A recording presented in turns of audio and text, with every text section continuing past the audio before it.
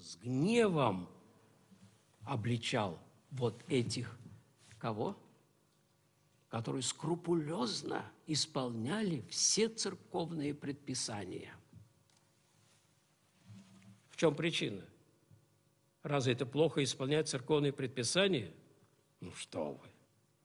Причина совсем другом, что они всю религию свели вот к этим внешним формам и забыли о самом главном, о заповедях Божьих. Забыли о чистоте сердца. Вот, оказывается, в чем причина. Так вот, эти вещи надо раз, различать. Церковные установления и заповеди Божии. Там хороши церковные установления, когда они сопряжены с исполнением заповедей Божьих. Тогда они помогают исполнению их. Тогда они смиряют, приводят человека к смирению и приносят большую пользу. Где же этого нет, там смерть. Самые отъявленные враги Божии. Кто? Вот эти законники, эти фарисеи, вечно противящиеся Слову Божию. Вы помните один случай, до чего докатиться можно? В субботу в синагоге человек с сухой рукой, и за ним уже за Христом наблюдают, что он сделает. Помните? А он говорит этому, встань на середину. И потом спрашивает их, что в субботу надо делать, добро или зло? И говорит этому, протяни твою руку, сухую. И он протянул. Реакция была, в бешенство пришли законники. Начальник синагоги кричит, шесть дней ей сделать, в которые можно делать. Вот, приходите тогда исцеляться. Это он Богу уже говорит. Ибо ясно, кто мог исцелить? Бог. Самому Господу Богу диктует. Вот до какого безумия можно докатиться. Это страшное предупреждение всем христианам. Для нас это особенно важно, потому что очень часто, почему это важно для нас, очень часто сводят все христианство вот к этому, знаете, сладкому сюсюканью только. Ходить в церковь, там творить, давайте милостиню, смотреть на иконочки, ставить свечечки и ничего больше. А о том, чтобы бороться своими мыслями, каяться в своих желаниях ненормальных, не допускать себя оскорблений ближних, недоброжелательства, то есть самые главные вещи, они куда-то исчезают за этой внешней, красивой церковной формой. Вот это действительно нужно знать. И мне кажется, что это очень важно объяснять и учащимся, чтобы они не поняли, не свели религию к какому-то эстетизму, внешнему эстетизму и больше ничего тогда наступает просто беда. Вывод какой?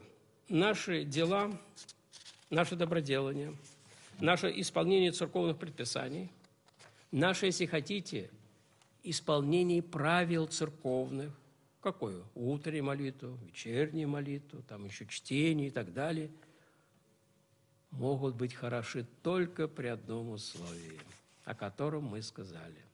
В противном случае – все получается наоборот. И святитель Игнатий даже так пишет о тех, кто преисполнен, если хотите, о делателях так называемых правды. Я вам зачитаю, не могу, он очень сильно пишет. «Делатель правды человеческой исполнен самомнение, высокоумие, самообольщение, ненавистью и мщением платит тем, которые осмелились бы отворить уста для самого основательного и благонамеренного противоречия его правде. Он признает себя достойным и предостойным наград земных и небесных. Ох, какие страшные слова! Избави Бог каждого увидеть себя достойным. Это, что называется, поставить на себе крест. Поэтому мы видим поразительную такую картину – поразительную просто картину в жизни церкви. Святые, великие святые, величайшие святые, видели, признавали себя недостойными грешниками. Не подумаешь, пусть только безумный может подумать, что здесь какое-то лицемерие. Нет, нет, на самом деле видели. И оказывается, чем чище становится человек душою, чем более очищается его взор ума и сердца, тем с большей ясностью он видит все свое недостоинство перед Богом, все свое несовершенство, все свое неподобие. Вот поразительное явление. Помните случай, может быть, кто читал, с Сесоем Великим? К нему пришел один подвижник, монах, и сказал, «Отче, я имею непрестанную память Божию, то есть непрестанную молитву. Не правда ли велико? Кто это имеет? А что Сисой ответил?